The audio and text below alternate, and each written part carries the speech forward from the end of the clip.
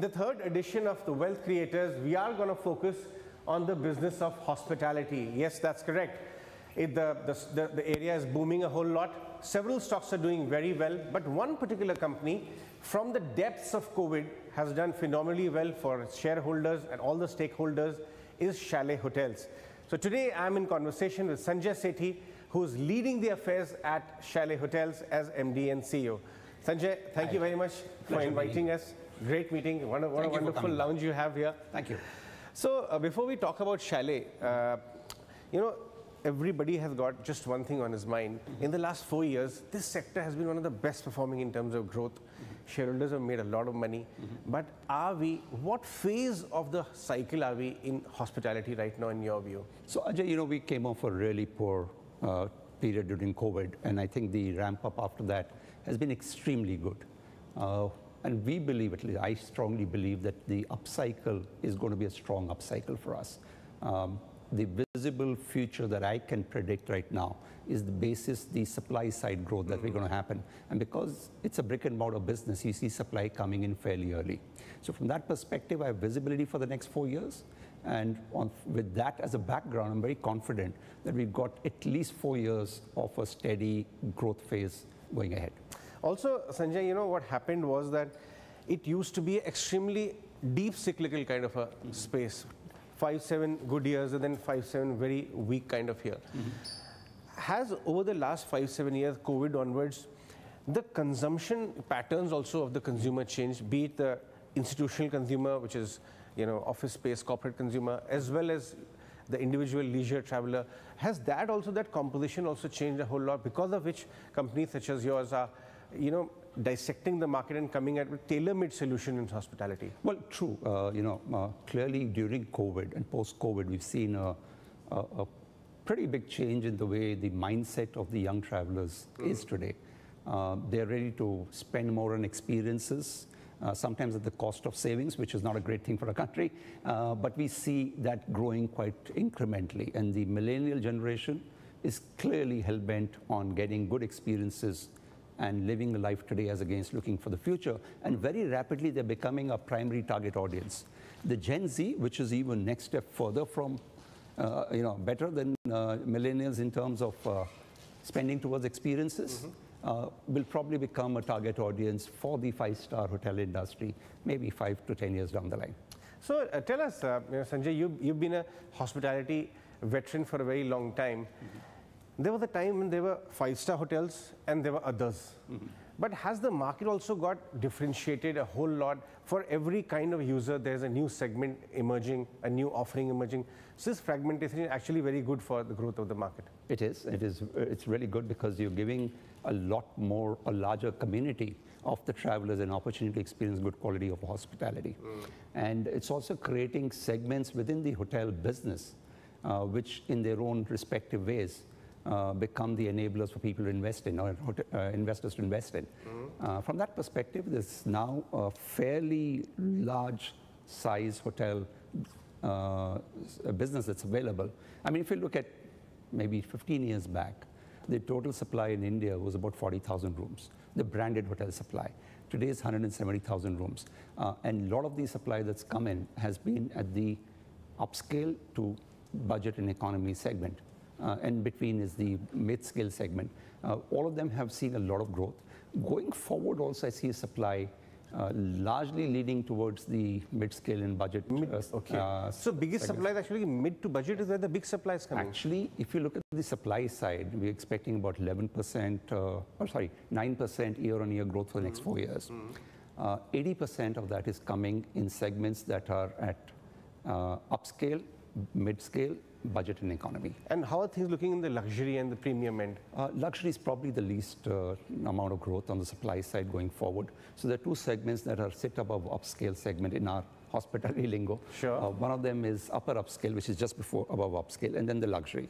So luxury and upper upscale combined together is only going to be 20% of the total new supply that's going to come in. Interesting. So clearly that's a segment that's going to be uh, probably have lower supply side uh, input, demand continues to grow at double digits there. So we're seeing a benefit in that segment. Also, I think that's also because it's more capital intensive in nature Sure. in that category. So talk to us about uh, you know this entire phenomena that, that the K-shaped recovery, the luxury, upscale, etc. is growing very healthy and very agnostic to pricing. But the lower end, the more uh, you know value orientation consumer is actually very challenged right now. Do you feel that in hospitality as well? No, not really. I think there's enough uh, supply at the at all sec- categories of hotels. Uh, what has happened, Ajay, very clearly is that there's been premiumization Yeah. of the experiences that people want, and therefore there's been a move upward in terms of quality of hotels that people want to stay. So how, uh, when you say that you- you're very fairly confident for the next three, four years at least, the health and the trajectory of growth is comfortable. Where, where is that uh, confidence coming from? As I said, it's, it's, it's a game of supply and demand. Uh, we see demand staying healthy and a growth pace of demand being between 10 to 11% year on year for the next four years. Supply side is significantly lower, and that favorable arbitrage that we have between demand and supply Will continue. gives us the confidence. Which are the regions which are really, is it all correlated to uh, business related demand or is the leisure and travel is also? I think it's a good mix. What's happening is a lot of the supply is actually coming in the leisure markets and tier two and tier three markets for business travel. Demand continues to be very robust across markets. Uh, so therefore, I believe the tier one markets will continue to do extremely well going forward because the demand supply arbitrage is going to be larger there. You know, I was just, uh, in, just previously we did a segment with uh, one of the biggest, uh, you know, the, your wealth managers also in the country and they were telling me that up till now India has seen wealth being concentrated in four to ten big cities in the country. But uh, very convincingly, he told me, uh, Ashish Kehair of Nuvama, that next the B30 in the financial services lingo, the 30, 40 cities beyond metro, they're witnessing massive boom in business and travel leisure. Can you correlate that or draw some semblances in hospitality? Are there areas of interest or you will see evidence first and then go there? No, no, I think, I think we will see evidence and go there. That's, that's our DNA of, of growth. Um, but you know, Ajay, what's interesting is if we're going to see tier two and tier three cities, and tier four actually, tertiary cities also grow, uh, I think it's great for our business because that's my source market. That's not necessarily my base where I'm, I'm supplying my product to the guests. If they're, uh, the, these tier two, tier three, tier four markets, people get more affluent, they'll tend to travel to leisure destinations and bigger cities a lot more, and therefore consumption of room nights uh, across India will be stronger. Okay, let's uh, talk about business models which are prevalent in the industry. Your group, of course, has a massive legacy and great reputation of a very strong player in the real estate space. Uh, then there are legacy, you know, groups like Taj and others, phenomenal work being done. Versus a lot of external overseas, you know, players who want to come here and capture because India is booming.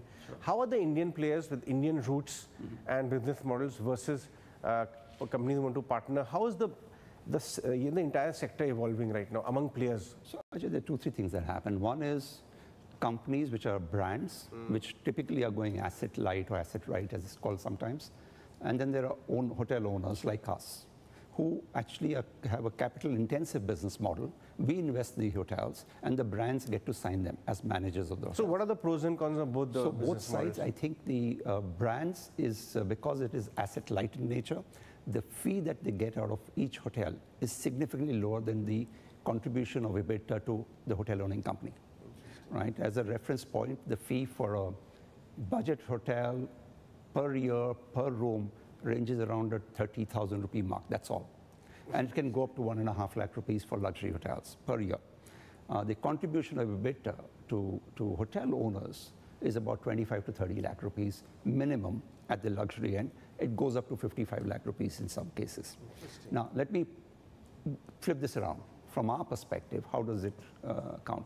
If I was today to decide to double my EBITDA from where it stands today on an asset-light strategy and pace it as per the best hotel companies in the country, that I will sign as many hotels as them going forward with a brand in my portfolio. It'll take me 20 years to double, Double my. EBITDA. But I can do that on the back of an asset-intensive strategy in maybe three to four years. And you know, the popular, uh, you know, thing, belief is that asset light is better for return ratios. Here an evidence is that hotel owners also can have very healthy return ratios.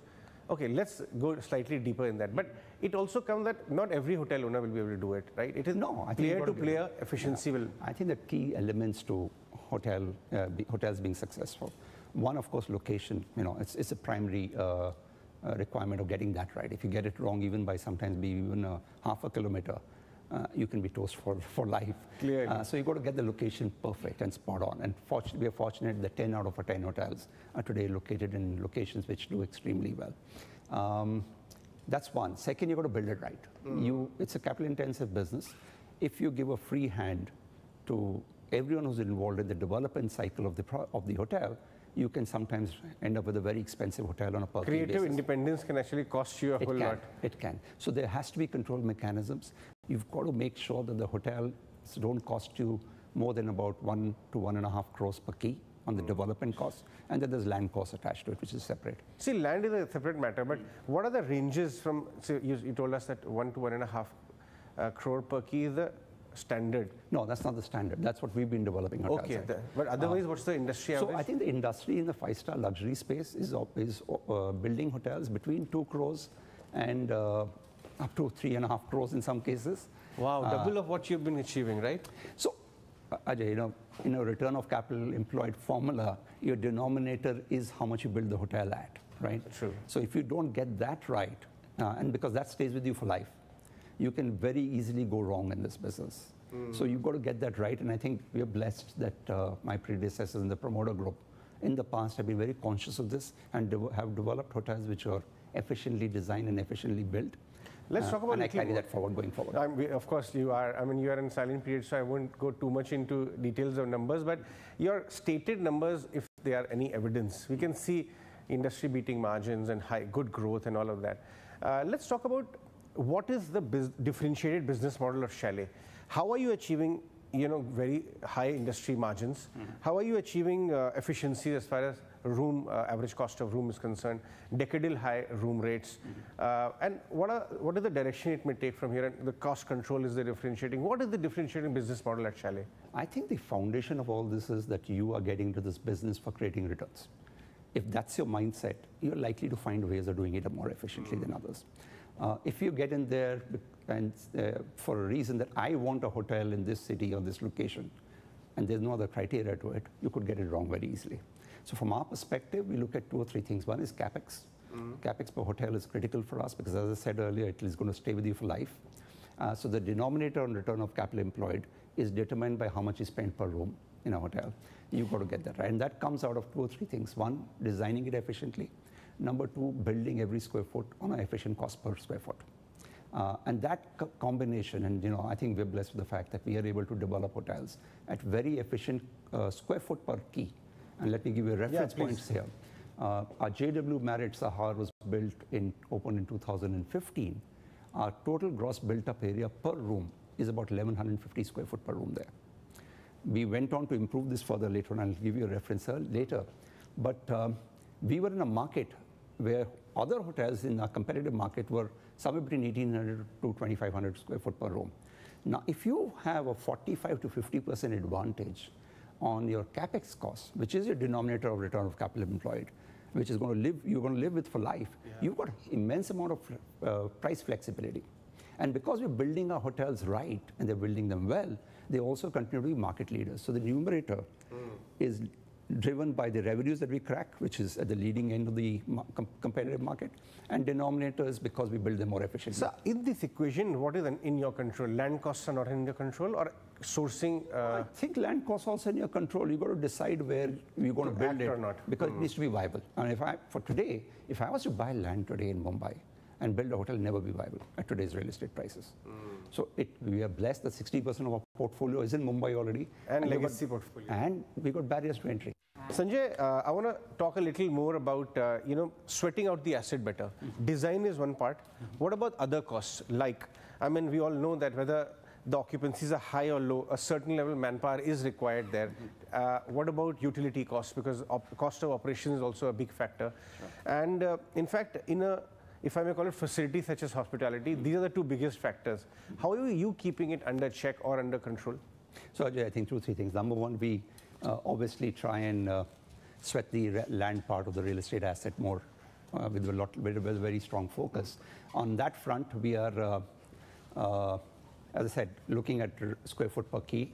But more importantly, if we have more FSI and the land is a larger parcel, mm. we'd like to put alternate asset classes on that land because it does two, three things for us. Number one, I'm sweating my land. Mm. The new asset class is coming at zero land cost because I've already spent that for the hotel plot, a hotel building that I've spent. And number two, they become complementary because an office asset, for example, will generate demand of room nights. Mm. So in our numbers, I mean, when I look at it, I typically look at about a million square foot generating 30 rooms per day of demand, new demand for my hotels if the office is in that location. So your business model is slightly differentiated. It has a very good, uh, you know, mix of office space as well, and you would like to keep it that way in the next two to three years. Wherever I have opportunity to sweat the asset, I will use that opportunity. And let me again come back to that reference of 1150 square foot. We are now with the new hotels at about 800, 850 per room, mm. which is again, we're constantly improving efficiencies there. Um, when you have low, low square footage of room, mm. uh, it is helping your denominator, as I mentioned earlier. Mm. Numerators help, of course, by the location, so therefore your revenue premium that you get. But more importantly, the square footage that you build tends to affect your cost very positively. Okay. If you're building less, your number of people required to run that square footage is lower. Will be lower. Uh, uh, I can give you a reference point here. The metric that we look at in the industry mm. is number of employees employed per room basis. Because every hotel is differently sized in terms of number of rooms. We look at this metric as a common metric. Uh, Chalet is operating at roughly about 0.93 employees per room. The industry is between 1.6 to 2.2 employees per room. At the higher end, it could be also three employees per room. But we've sort of institutionalized this efficiency, sure. this productivity of employees in the system very efficiently pre-COVID and now more efficiently post-COVID. Sure. So and similarly, I just want to complete yeah, this, sorry for that. Hmm. Uh, but the less square foot also results in the second cost that you mentioned earlier, the utility costs, right? Less area, therefore lower air conditioning bills, lower electricity bills, low maintenance bills. But you are having a lot of uh, endeavors, I see, as far as reducing your utility bills via smart engineering. You have a uh, element of renewables also coming in now, which is, I saw your margins, I mean, they're like uh, over 40, 45%, depending on you're talking about quarter or yearly. You have uh, upward bias uh, because of these measures are being institutionalized in the operations? No, so look, uh, it's a journey of constant uh, okay. improvements. Uh, you know, at, in 2018, 19, when we went public, 19 actually. 19 January, I remember. February, we were doing yeah. road shows before that. Uh, a lot of people ask us, listen, you already at very high EBITDA margins. Is there any headroom for further growth? And we've grown 400 bips since then. Yes. So we're constantly evolving and improving. But you see, margins. there is scope for doing think, a lot of stuff. I think there's, we, there's no time to rest at any given point of time. I think every day we make an effort to improving margins. Your last stated numbers were, again, you know, decadal high uh, rates, and numbers are very healthy. So I was talking to some of your large shareholders, just taking feedback before. One is getting a sense that even the QIP, uh, your last QIP fundraise saw very healthy subscription. One is getting a sense that the business momentum and the efforts that you're taking, and of course the industry tailwind, can double your business in three, three and a half years. Is that a fair estimate to take? Uh, yes, for Chalet. I yeah, think if Chalet. I was to look at an internal aspiration, I would like to uh, look, and this is not a guidance in sure, any way, but uh, it is something that's more internal, uh, is I would like to see us doubling our uh, uh, P&L mm. in about three years' time from now. So what are the three, four biggest areas? As a CEO, I'm sure you are a very hands-on guy, but you have business leaders in your team. But what are the three, four strategic areas of focus from the board level for your individual, uh, you know, uh, kind of focus area where sure. you 80% of your time is actually spent on these three, four big focus areas? so areas? I think clearly my my board gives me key result areas that I deliver, sure. right? And I think to a large extent that's a reflection of where I focus most of my time on. Um, driving operating efficiency is one of them. Second is uh, growth. And on the growth side, efficient growth is critical for us. So it's not just not growth. just top line growth. It's just not just not just top line growth. It is uh, inorganic growth by adding new assets yes. and inventory to our portfolio. Yeah, I just saw that. So. But more importantly, than, important than that is adding that efficiently. So look, we are spoiled by our own performance to some extent. Anything that we take on uh, we will take on very carefully to ensure it doesn't dilute our performance in any way. Mm. So everything that we add going forward will actually add to the margins that we have as against being dilutive in nature. I want to talk about the Dukes uh, asset which you recently acquired. Just for reference point, how much of your growth from here on would be organic and uh, are you always scouting because your, your balance sheet allows you that mm -hmm. you're scouting for opportunistic assets where previous asset owners are not being able to run it and take it over refurbish it and mm -hmm. add to your growth so look the dukes sell people who sold dukes to us the, the reasons are very different um, but yes we, we, our intent is to sort of uh, elevate the, pro the, the property first mm. and then sweat the asset more by adding more inventory just to give you a reference point again, Dukes we acquired at, uh, which when it required, it was 80, it had 80 rooms, mm. which needed some serious renovation. Uh, we were now expanding to 145 rooms from 80, again sweating the asset. Uh, and we're going to position it very differently. From 80 to 145? Yes, we added 65 new, room, uh, new rooms. It's work in progress right now. Uh, but more importantly, we want to also elevate the, the, the, the asset mm. and to be able to drive higher ARRs out of that. Uh, if you ask me what's my internal aspirations for uh, Dukes, mm -hmm. we were operating at about 8,000 rupees pre-renovation. Yeah. I would like to position it around the 14, 15,000 rupee wow. price point uh, post renovation. And you see demand there. I, I um, demand no, that's the least of my worries. So, are we talking? You're at what? The run rate is about 3,000 keys right now operating, and work in progress, of course. Mm. Are we talking about a number of closer to 5,000 uh, keys operating in the next three, four years? So we've got uh, roughly 3,050 odd rooms yeah. operating right now. Yeah. And close to 900 under development. So that progress. takes us to about 4,000. Mm -hmm. um, I would like to see us get to a 5,000 number sometime in the future. Um, and I'd like to basically say that at some point of time, I should be able to come back to the market and say my operating portfolio plus pipeline is 5,000 rooms. And I'm hoping it will not be too uh, distant a future. Excellent. Thank you very much, Sanjay, chatting with us today, talking about the industry and also telling us what Chalet Hotels is all about. Thank you so Thank much you. for your time. Great Thank chatting. Thank, Thank you. you.